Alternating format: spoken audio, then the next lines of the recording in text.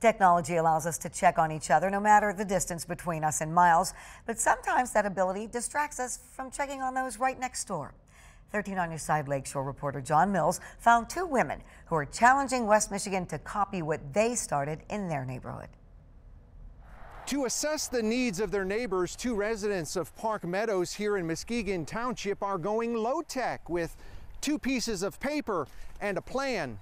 It's something Patty Joslin and Mary Obzut learned was happening in Italy. We made 300 packets. Jumped right in and away we went. A green alert card for every neighbor's window. That's a sign everything in this house is good. But if they need help or need assistance of any kind, then they put the red one in and then we go to the door to find out what do they need. Do they need a prescription picked up? Do they need food? Maybe they just need to talk to somebody because they're very anxious. The two neighbors are pledging to check windows daily during Michigan's shelter in place order. We have a lot of single moms and a lot of elderly people. Don't have a lot of family that checks on them. It's something Joslin and Obzut say they can do while still practicing social distancing. These two ready to help if the green alert card turns red. It's important to know that somebody does care about them. Because I'd hope they'd care about me.